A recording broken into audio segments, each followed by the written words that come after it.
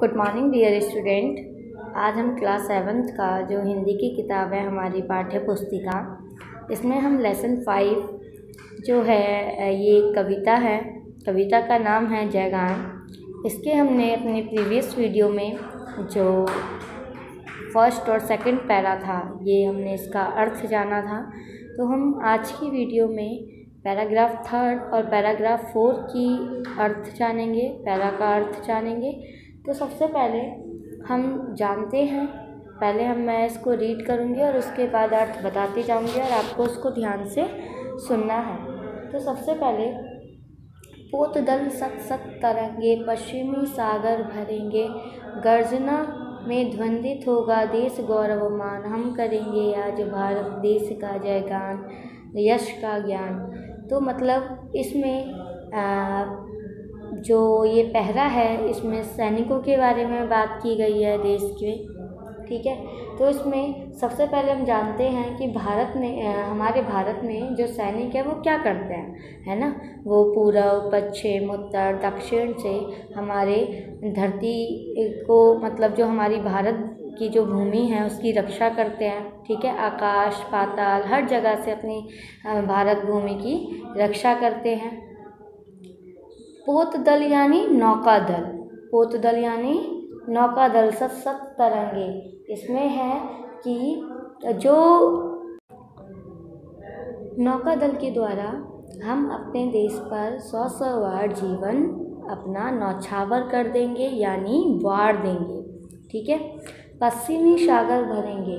तो पश्चिम में हिंद महासागर जब हुंकार भरेगा, यानी जब हुंकार भरेगा, यानी जब उसमें हम, मैं बोलूँ, जो सैनिक हैं, जो पश्चिमी में जो हमारा महा, हिंद महासागर है, जब वो हुंकार भरेगा तो उसकी गर्जना में क्या होगा? उसकी गर्जना में ध्वंदित होगा, देश का गौरवमान, यानी जो उसकी गर्जना होगी, उसकी गर्जना में इतनी आवाज़ होगी, इतनी ध्वंदित होगी वो, जिससे कि हमारा जो देश का गौरवमान है, देश का सम्मान है, वो बढ़ेगा।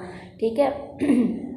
हम करेंगे आज भारत देश का जयगान। हम आज अपने भारत देश का जयगान करेंगे, भारत का गुणगान करेंगे, उसकी कीर्ति को भी गाएँगे, उसका यश का ज्ञान करेंगे, यानी उसकी कीर्ति को भी गाएँगे। बने विद्या भवन शोभन देव मंदिर से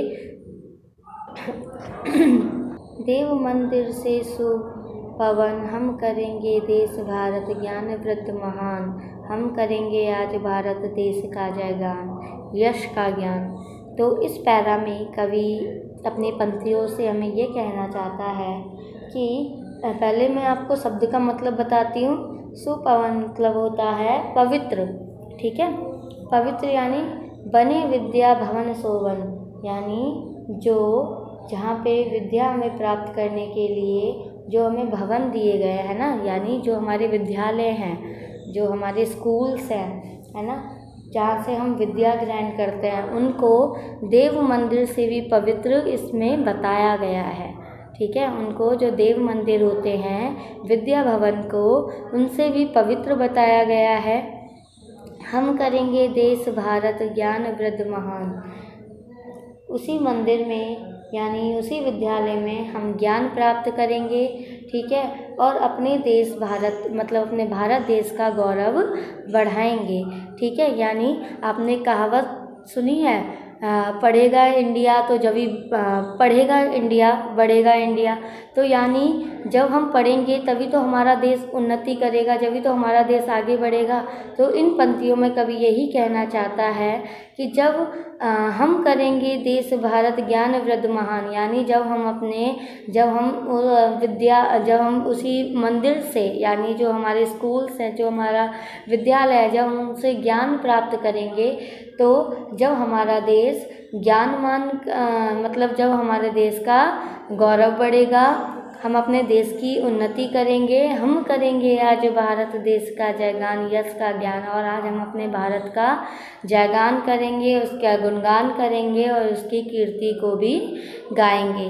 तो आपको इन पंक्तियों का अर्थ समझ में आया है। ऊपर के दो जो पैराग्राफ हैं, उनको आप आज सॉरी उनको आप अपने प्रीवियस वीडियो से देख लेंगे। और लास्ट के जो दो पैराग्राफ हैं, ये मैंने आज की वीडियो में आपको कवर कर दिए हैं। तो ये आपका चैप्टर ख़त्म हो गया है, ठीक है? अब हम अपनी अगली वीडियो में जो एक्सरसाइज है, वो करेंगे। तो आज के लिए इतना ही, धन्यवाद।